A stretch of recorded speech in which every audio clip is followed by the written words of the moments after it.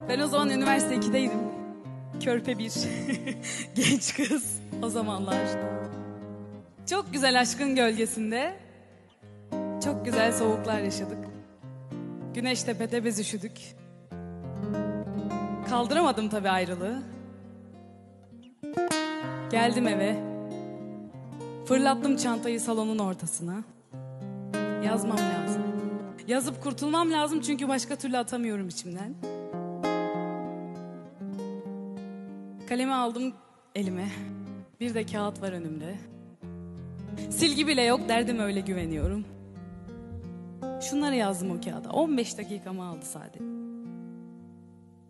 Sabah uyandım yanımda yoksun Solumda bir acı senden yoksun Soluksuz kaldım köşelerde